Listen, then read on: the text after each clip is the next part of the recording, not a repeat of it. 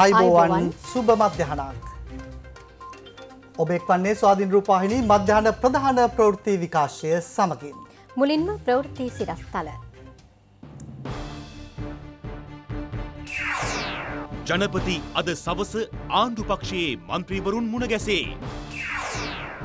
අස්මීර් හෙවත් ඩබල් කෝටි දහත් තුනක කුඩුත් එක්ක පොලිස් දැලේ. පාතාලේ ගෝඩ් ෆාද වෙන්න ගිය පින්තු STF වෙඩිපහරින් මරුට. හරක් කටාගේ බිරිඳගේ සොයුරු රන්මල්ලි කෝටිතිස් නවයක් සමඟ අත්තඩංගුවට. දෙහිවල ඔරන් ඔටන්ලත් චිම්පන්සි යුවලත් පොසිටිව් වෙයි. ටෝකියෝ ඔලිම්පික් ගම්මානයෙන් තවත් කොරෝනාරෝගීන් දෙදෙනෙක් හමුවේ.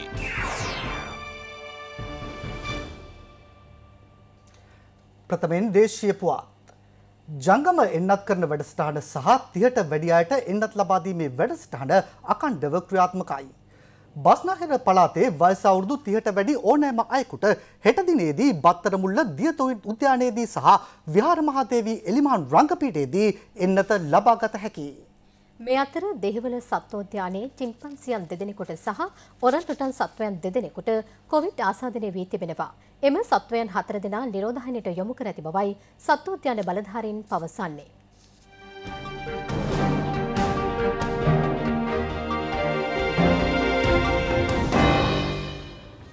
ඊජේ දිනේදී මෙරටින් හඳුනාගත් සමස්ත කොරුණ ආසාධිතීන් සංඛ්‍යාව එක්දහස් හාරසිය පනස් දෙකක්. විදේශගතව සිට පැමිණි පස් දෙනෙකුද ඒ අතර වනවා. ඊජේ දිනේදී වැඩිම කොරුණ ආසාධිතීන් සංඛ්‍යාවක් වාර්තා වන්නේ කොළඹ දිස්ත්‍රික්කයෙන්. එම සංඛ්‍යාව තුන්සිය විසි දෙකක්. ගම්පහ දිස්ත්‍රික්කයෙන් රෝගීන් දෙසිය තුන් දෙනෙකුද වාර්තා වුණා. කළුතුර දිස්ත්‍රික්කයෙන් ඊයේ හඳුනාගත් කොරුණ රෝගීන් සංඛ්‍යාව එකසිය හැත්තෑ පහක්. මේ අනුව සමස්ත ආසාධිතීන් සංඛ්‍යාව දෙලක්ෂ අසූතුන් දහස් පන්සිය දොළහක්. මේ වන විට රෝගීන් විසිතුන් දහස් නවසය හැත්තෑ හත් දෙනෙකු ප්‍රතිකාර ලබමින් සිටිනවා. ඊයේ සුවේ ලැබූ නවසය හැට දෙදිනෙකුද සමගින් සුව වූ සංඛ්‍යාව දෙලක්ෂ පනස් පන්දහස් අටසිය තිස්තුනක්. ඊයේ වාර්තා කළ මරණතිස් එකද සමගින් මෙරට සමස්ත කොරුණා මරණ සංඛ්‍යාව තුන්දහස් හත්සිය තිස්තුන දක්වා ඉහළ ගියා. ඊයේ දිනේදී PCR පරීක්ෂණ දහතුන් දස් දෙසිය අසු අටක් සිදු කර තිබෙනවා. රැපීඩ් ඇන්ටිජන් පරීක්ෂණද හාරදහස් තිස් පහක් සිදු කර තිබෙනවා. එන්නත් කරන වැඩපිළිවෙල සාර්ථකව ක්‍රියාත්මක වුවද විවිධ අසනීප තත්ත්වයන් සහ වයස්ගතවීම නිසා ඇවිදීමට නොහැකි අයට එන්නත ලබා ගැනීමේ අපහසුතා පවතින බව නිරීක්ෂණය වුණා. ඒ අනුව ඔවුන්ගේ ළඟටම ගොස් එන්නත් කිරීමේ ජංගම වැඩසටහනක් ආරම්භ කරන ලෙසයි ජනාධිපතිතුමා උපදෙස් ලබා දුන්නේ. එම උපදෙස්වලට අනුව ජංගම එන්නත් කරන වැඩසටහන් ක්‍රියාත්මකයි. මේ වන විට කොරුණා එන්නත්වල පළමු මාත්‍රාව පනස් හතර ලක්ෂ හාරදහස් නවසයති සට දෙනෙකුට ලබාදී තිබෙනවා. දෙවන මාත්‍රාව දාසේ ලක්ෂ හතලිස් හයිදහස් එකසිය හැත්තෑ හයි දෙනෙකුට ලබාදී ඇති බවයි වසංගතරෝග විද්‍යාංශය සඳහන් කළේ. මැදවච්චී ප්‍රාදේශීය ලේකම් කොට්ටාසේ පූනාව ඇතුළු ගම්මාන හතක වැඩිහිටියන් සඳහා කොවිඩ් මර්ධන එන්නත් ලබාදීම සිදු කෙරුණා.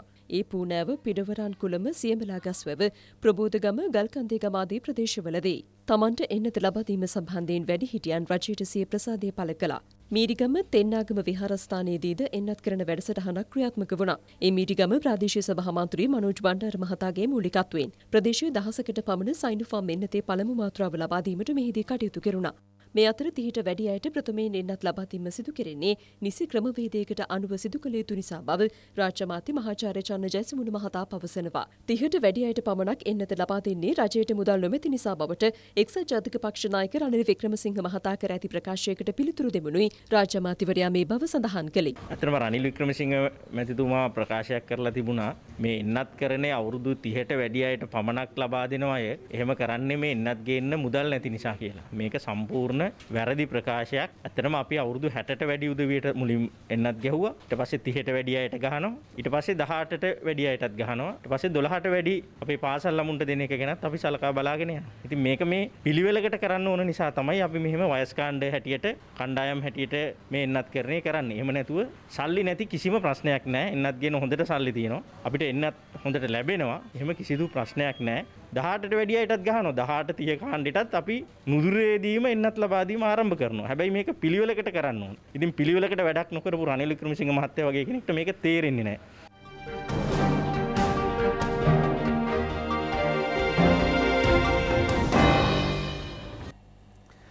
ආණ්ඩු පක්ෂයේ මන්ත්‍රීවරුන්ගේ හමුවක් ජනාධිපතිතුමාගේ ප්‍රධානත්වයෙන් අද පස්වරුවේ පැවැත්වීමට නියමිතයි. ජනාධිපති මන්දිරයේදී අද පස්සරු හයට මෙම රැස්වීම පැවැත්වීමට නියමිත බවයි වාර්තා වන්නේ. ආණ්ඩු පක්ෂයේ මන්ත්‍රීවරුන් අතර හමුවක් ජනාධිපතිතුමාගේ ප්‍රධානත්වයෙන් අද පස්වරුවේ පැවැත්වීමට නියමිතයි. අමාත්‍ය උදේ ගම්මන්පිල මහතාට එරෙහිව විපක්ෂයෙන් ඉදිරිපත් කර ඇති විශ්වාසභංග යෝජනාව හෙට දිනේදී පාර්ලිමේන්තුවේ විවාදයට ගැනීමට නියමිතයි. මෙම විවාදයේදී ක්‍රියා කළ යුතු ආකාරය පිළිබඳව මේදී සාකච්ඡා කරනු ඇති බවද වාර්තා වනවා. මේ අතර උදේ ගම්මන්පිල මහතාට විරුද්ධව ඉදිරිපත් කරන විශ්වාසභංග යෝජනාව පරාජය කිරීම සඳහා ආණ්ඩු පාර්ශවයේ මන්ත්‍රීවරුන් කටයුතු කරන බව අමාත්‍ය දිනේශ් ගුණවර්ධන මහතා මාධ්‍යට ප්‍රකාශ කළා. ආණ්ඩු ඉතින් විශ්වාසභංග යෝජනාව ප්‍රතික්ෂේප කල්ලා තිනවා පදනමක් නැතුව නිකං ප්‍රචාරයට කරන දෙයක් අපි අපේ මන්ත්‍රී කණ්ඩායම එය පරාජය කිරීටමට සියලු දෙනා චන්දය පාච්චි කන. විවිධ කරුණු එක එක පැතිවලින් බලන්න පුළුවන්. නමුත් ප්‍රධාන ප්‍රශ්නය හිටපු අගමැති එයාගේ ගෝලයා දඟඉන්න විපක්ෂනායකතුමයි දෙකක් කියන්න. ඒකෙම පෙන්න්න ඕන මේ විරධ පක්ෂය කිසිම එක මතයක් නැති ආණ්ඩුවට බැනවදින්න තමයි හදන්නේ. කිබුලාලේ ගුණාගේ සහෝදරයාගේ මද්‍රව්‍ය ජාවාරම් බිහි වූ බව කියන අස්මීර් හෙවත් ඩබල් නැමති පුද්ගලයා අත්අඩංගුවට ගෙන තිබෙනවා. ඒ රුපියල් හතුනකට ආසන්න මද්‍රව්‍යද සමගයි. මේ අතර සේදුවේදී සැකකටයුතු වාහනයක් පරීක්ෂා කිරීමට යාමේදී විශේෂකාර්ය බලකාය කළ වෙඩි තැබීමකින් අපරාධ රැසකට සම්බන්ධ සැකකරුවෙකු මිය ගොස් තිබෙනවා. ඔහු පාතාලේ අනාගත ගෝඩ් ෆාද ලෙස හඳුන්වාගත් පුද්ගලයෙකු බවයි විශේෂකාර්ය බලකාය පවසන්නේ.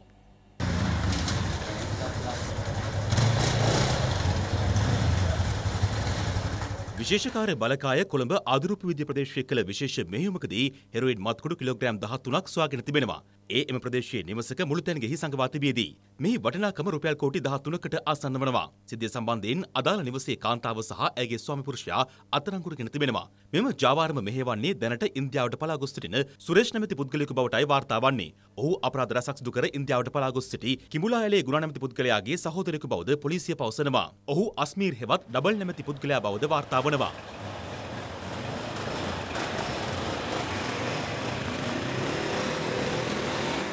ඊයේ රාත්‍රියේ විශේෂකාර බලකාට ලැබුණු තොරතුරක් මත සැකටයුතු පුද්ගලයන් ගමන් කරන වාහනයක් පසුපස හඹායාමක් සිදු කර තිබෙනවා. සීදුව ප්‍රදේශයේදී එම වාහනය පරීක්ෂා කිරීමට උත්සාහ දරන අවස්ථාවේ ඇති වූ තත්ත්වයක් සමග කළ වෙඩිතැබීමකින් එක් පුද්ගලයෙකු තුවාල ලබා රෝහල්ගත කර තිබෙනවා. එම පුද්ගලයා රෝහල්ගත කිරීමෙන් පසුව ජීවිතක්ෂයට පත්ව ඇති අතර ඔහු කරුණායක ප්‍රදේශයේ පදිංචි ලලිත් ප්‍රසන්න පින්තු නැමැති අයෙකු බවයි හඳුනාගෙන තිබෙන්නේ. එවගේ මේ පුද්ගලයා වත්තල සීදුව අකුරැස්ස මාතර අලුත්ගම රාගම ආදී ප්‍රදේශවල සිදු කරන ලද අපරාධ රැසකට සම්බන්ධ පුද්ගලයෙකු බවටයි වාර්තා වෙන්නේ. ඔහුට එරෙහිව දැනට අධිකරණයේ නඩු 20කට ආසන්න සංඛ්‍යාවක් විභාග වෙමින් පවතින බවත් ඉන් 6ක් පැහැර ගැනීම සහ මනුෂ්‍ය ඝාතන බවටත් වාර්තා වී තිබෙනවා. මීට කලකට ඉහතදී මොහු මීගමුව බන්ධනාගාරයේ සිටියේදී ඔහුට අධිශීතකරණයක් ආදී උපකරණ සැපීමක් සම්බන්ධයෙන් බන්ධනාගාර අධිකාරිවරයෙකු වැඩතහනමට ලක් වූ බවද වාර්තා වෙනවා. මේ වාහනේ සිටි අනිකුත් පුද්ගලයන් දෙදෙනා මේ වන විට අත්අඩංගුවට ගෙන තිබෙනවා. ඔවුන් විශේෂකාර්ය බලකා නිලධාරීන් විසින් සීදුව පොලිස් ස්ථානය වෙත බාර දී තිබෙනවා. මේ අතර කොට්ටාව පන්නිපිටිය හිරිපිටි ප්‍රදේශයේ නිවසක් පරීක්ෂා කිරීමේදී එම නිවස ආසන්නයේ වලලා තිබූ රුපියල් 1 කෝටි 39 ලක්ෂයකට ආසන්න මුදලක් පොලිස් මදුරාබ විනාශක කාර්යාංශය මගින් සොයාගෙන තිබෙනවා. මීට අදාළ සැකකරු රන්මල්ලි නැමැති මදුරාබ ජාවාරම්කරුගේ බිරිඳගේ සහෝදරයෙකු බවයි පොලිසිය පවසන්නේ. මද්‍රව්‍ය ජාවාරමෙන් උපෙන ලද මුදල් මෙලෙස වළදමා ඇති බවට තොරතුරු ලැබී තිබෙනවා. පසුගිය මාස කිහිපය තුළ දකුණුදිග වෙරළ ප්‍රදේශයේ මද්‍රව්‍ය තොග අත්අඩංගුවට ගත්තා.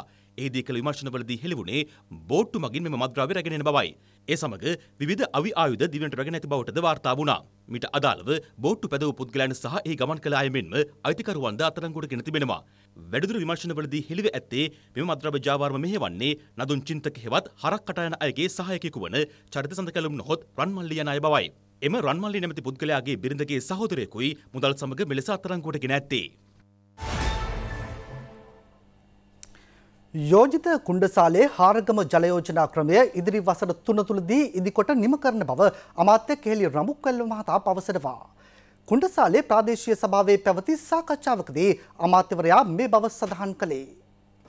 මහනුවර කුණ්ඩසාලේ ජල යෝජනා ක්‍රමය බිලියන විසිපහයි දශම පහ. මේ වෙනකොට මූලික වැඩ ආරම්භ කරලා. ප්‍රායෝගික වැඩ මේ අවුරුදු අවසානයේදී බිමේ යථාර්ථයන් ආරම්භ කරනවා. 2024 වෙනකොට මේ ප්‍රශ්නය විසඳන්න කටයුතු කරනවා.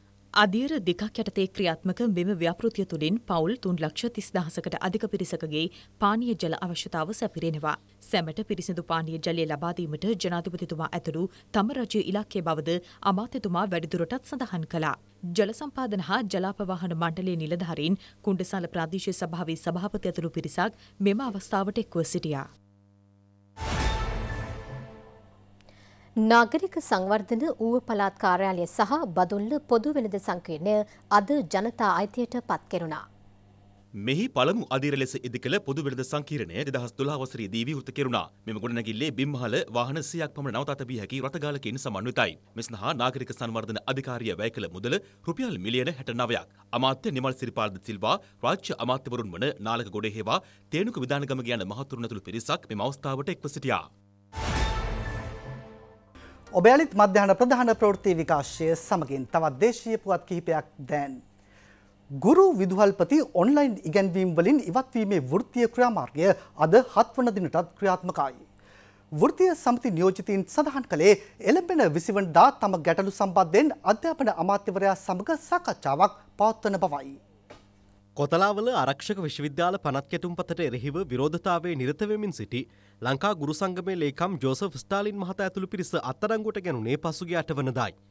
ඔවුන් අධිකරණයට ඉදිරිපත් කිරීමෙන් අනතුරුව ඇප ලබා දීමෙන් පසු නිරෝධායනය සඳහා යොමු කෙරුණා.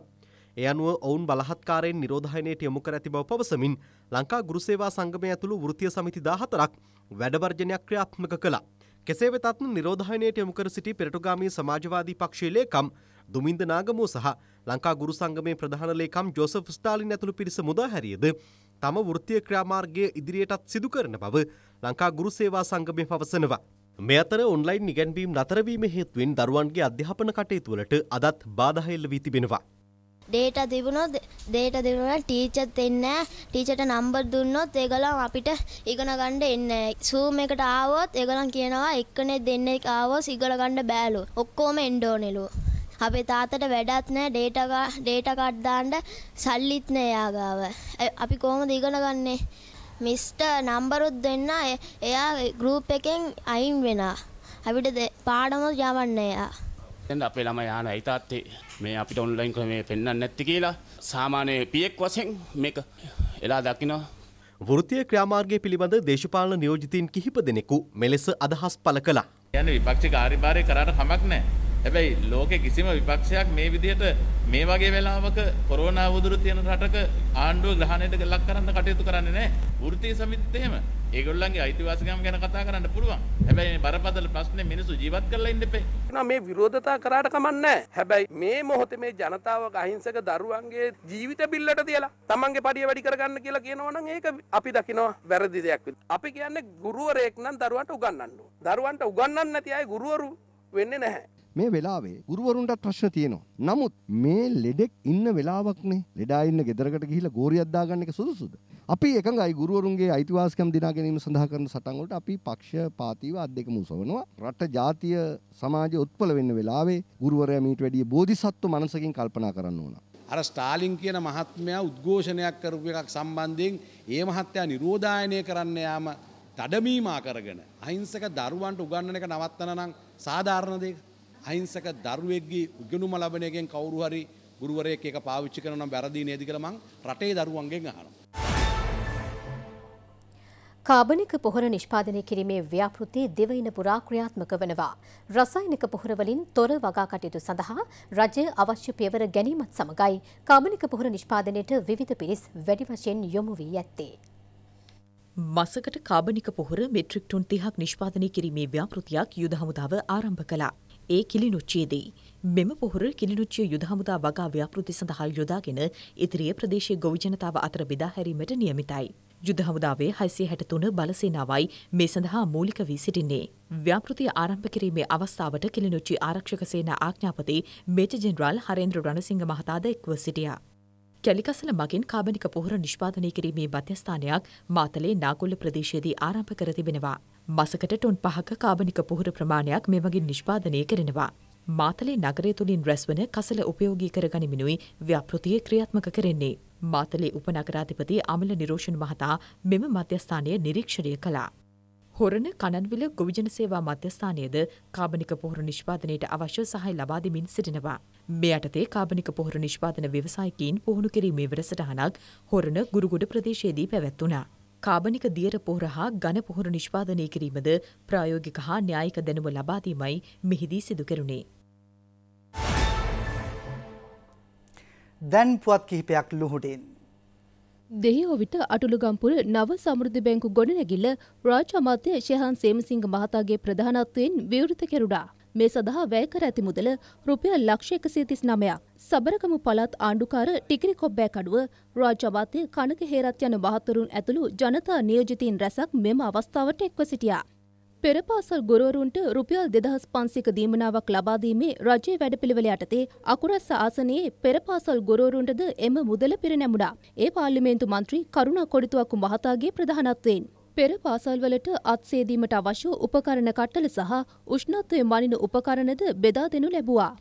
කොවිඩ් වසංගතය හමුවේ ආදායම් අහිමි වූ මාතර පහළ පීක් වැල්ල පන්තාරම්ම විහාරයේ ආශ්‍රිත පුද්ගලින් හාරිසිය පනස් දෙනකුට වියලි ආහාර ද්‍රව්‍ය අඩංගු මලු බෙදාදීම එම විහාරස්ථානයේදී සිදු කෙරුණා.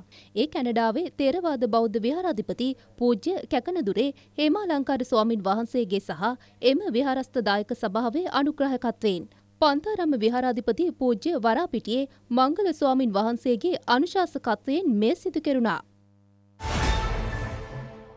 ඒ සමගින් මධ්‍යහන ප්‍රධාන ප්‍රවෘත්ති විකාශය නිමාවට පත්වෙනවා. පස්සුරු එකයි පනස් පහේ සිට අපගේ පැන් පෑපුව දෙකාශය බලාපොරොත්තුවන්න. ඔබට සුබදාසක්.